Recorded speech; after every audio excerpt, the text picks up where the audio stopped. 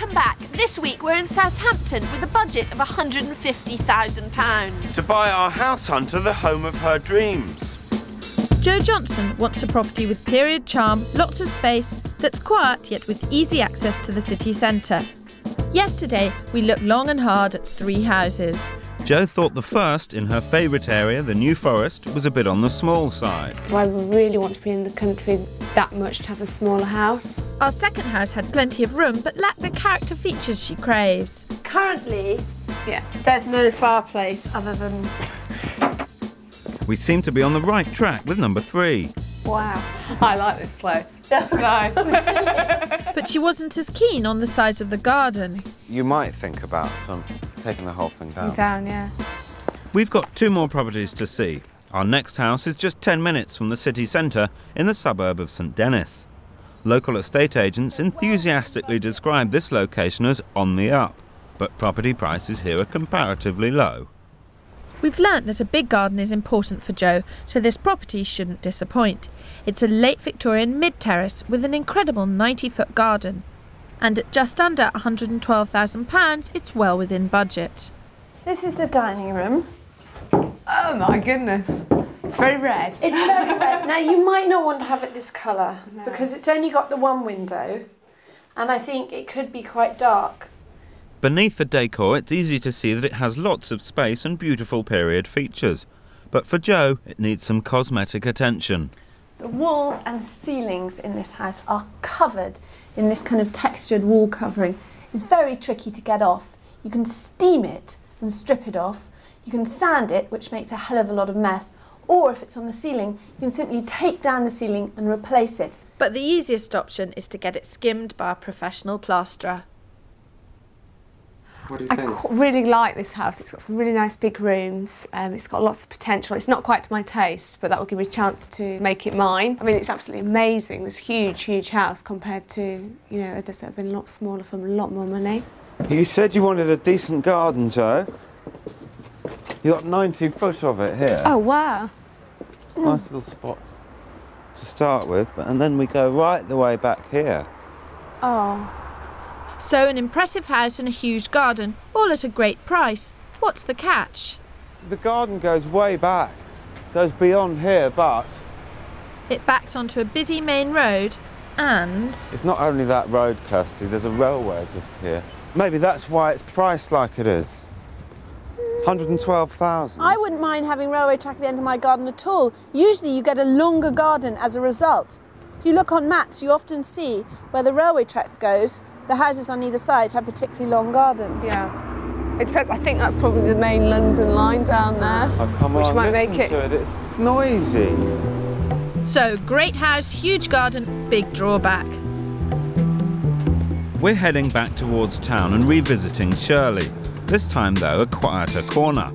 Located in a cul-de-sac, we think our final property's a bit of a gem. It's detached, Victorian, and packed with original features. And outside, things get even better with a stunning 48 foot cottage garden. Priced at £152,500, it's a real find. Now, Joe, come and start in the garden. Oh wow! Isn't it It's lovely? lovely. Yeah. It is, it's a very cottagey garden. It's a very mature garden, just under 50 foot long.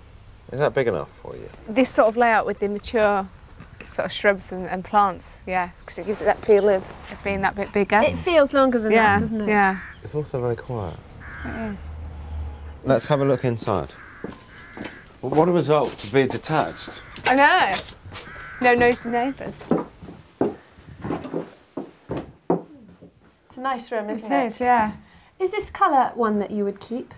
Possibly not. It's a bit bright.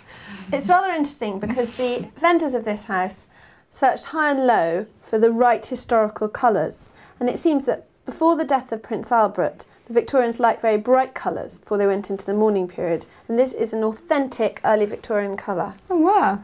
But notwithstanding, it's not for me either. No, it makes the room a bit smaller. Like the rest of the house, the kitchen is full of character. It looks small, but it's deceptive.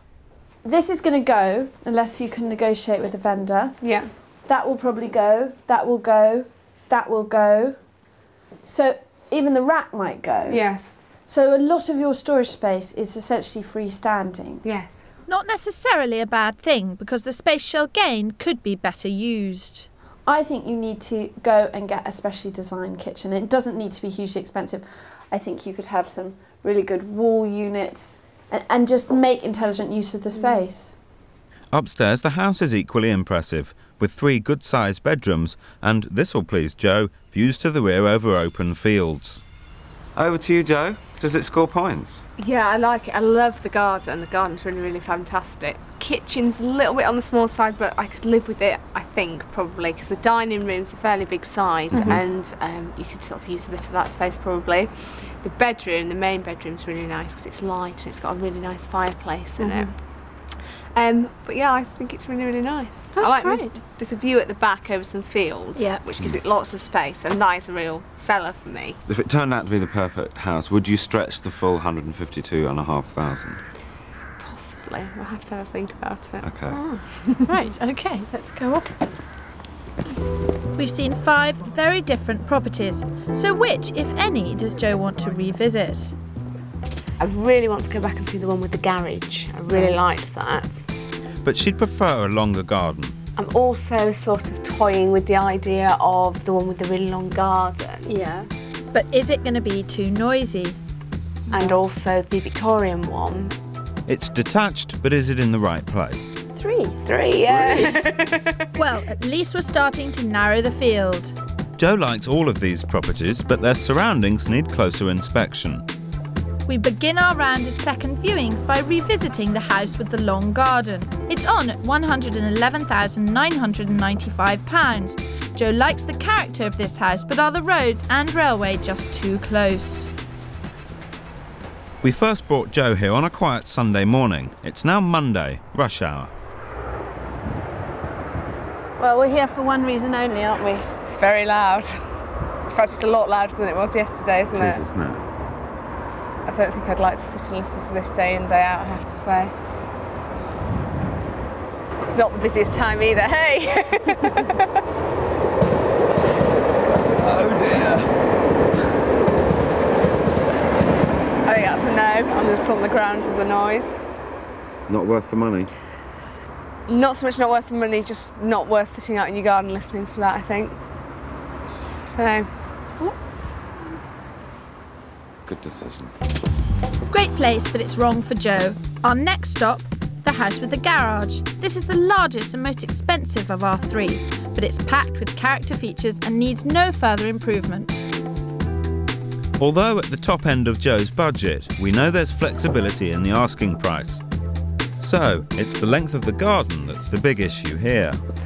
that's I know that this is your main concern about the house, isn't it? Yeah, yeah, it, it takes a lot of space out of the garden. The, the garage itself is 22 foot long, Mm. and there's another 10 foot of hard standing out here. We've had a quote here to remove this, and it's about 1,200 pounds. They reckon three skips, four days' work, and it's gone. But remember, a decent garage always adds value to a property. We reckon it's put £5,000 on the price of this place. Essentially, Joe would be paying to devalue her purchase. Hmm. It's a tricky one, I'm afraid, Joe, because I know the garden was important to you. I know, I know. It's, it's not a horrible garden the way it is. I think it's just deciding whether it's it, the house is worth the uh, the smaller garden. Do you think you'll be able to make that decision this afternoon? I hope so. So do I. Come on. Cheers. Joe must act quickly if she wants this house. Other people are already booked to view this afternoon. Perhaps seeing the detached house again will help make up her mind. It's on at £152,500, which Joe would consider paying for the perfect property. It's been carefully maintained and stylishly updated, so she won't have to fork out another penny. And the mature garden is a real selling point. And that is the most fantastically beautiful jasmine bush. Joe liked the playing fields behind the house, but will they stay that way? A phone call to Southampton City Council established the facts. As yet, the future of this plot of land is undecided. Developers are after it, locals are trying to keep it. It is the biggest open space in this part of town. Now, if Joe buys the house, she'll be taking a risk on this. My advice to her is that if that ever was turned into houses, guess where the access road will be? If you're thinking of buying a house that's got open space around it, don't assume it'll stay that way. Check it out. Joe's got a lot to think about. Will she go for this one, the house with the garage, or a neither quite right? She seems to be warming to it. I don't think she'll buy it though. No. I think that field is too much of an unknown. It's a detached house though. It's got a lot of going for it, and it's the garden that she was really keen Yeah. on. It's a really nice garden. With such desirable properties, the pressure's on. We should get a move I think on. we should. Joe, Yep. have you seen enough? Yep. Let's get a shift on.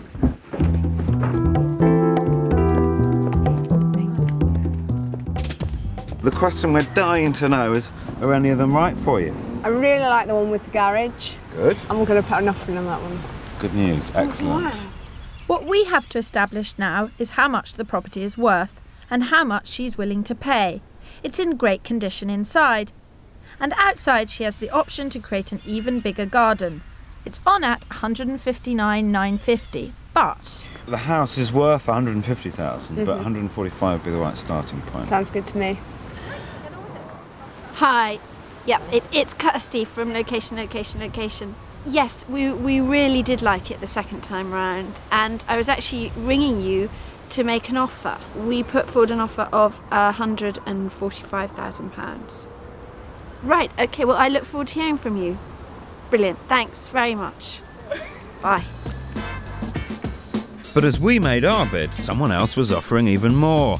It looked like Joe had missed the property. But the story doesn't end there. Two weeks later, that deal fell through, and Joe's final offer of 152,000 was accepted. absolutely fantastic house. It's got my fireplaces, it's got my garden, it's got a fantastic kitchen.